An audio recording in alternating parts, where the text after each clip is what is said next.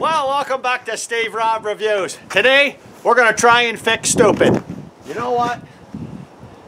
This window regulator is either busted or slipped off its uh, two mounting points. We're gonna take a look today and see uh, how to fix this.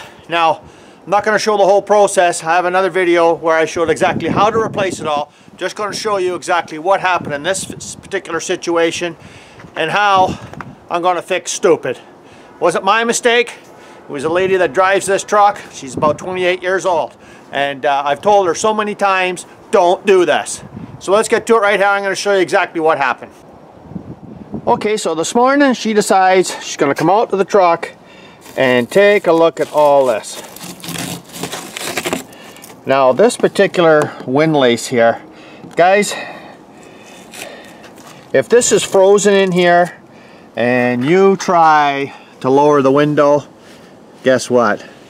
Look at this. I'm pushing this down with my hand and she's all the way down now. So you know what? I think the wire inside's busted again, but you shouldn't be operating your windows like that until you know exactly that this is free. Now of course it came down nice now because I was out in the truck and warmed it up and the temperature is warmed up outside. But I'm going to be doing this job with my heater out here.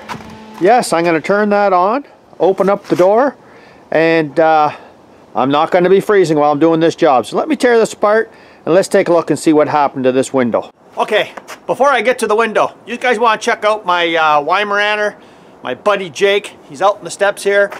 He has to come outside when I'm here and uh, of course, you check out check out the gear we have to put on this dog in the middle of the winter and he'll be out here all day long as long as I'm out here. Check this out. Okay, check this out. This is my buddy Jake and he'll stay out here for hours. He's got his blanket on him. He's good to go. Let's get back to work.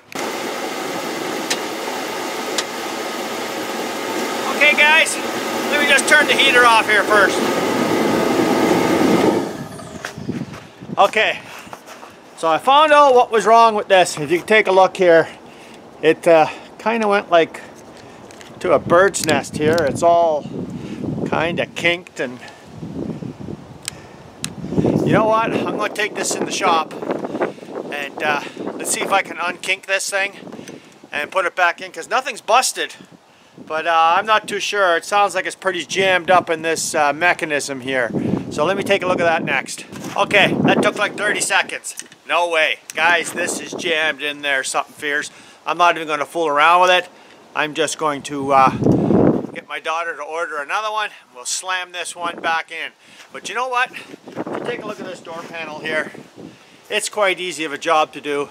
I'll put a link at the end and down the bottom if you want to change one of these. It's quite easy. I think I paid like 120 bucks for one of these and it's probably worth 120 bucks by the shape of it. But you know what? Don't put your windows down when they're frozen in the winter. This is the kind of stuff that happens. Thanks for joining me here today. I was out here nice and toasty with my heater today and uh, didn't quite show you anything, but I did teach you a lesson. Don't put your windows down when they're frozen. These guys take care. Come back again. And uh, if you haven't seen this channel before, well, you're in for a treat watching this guy. Cheers!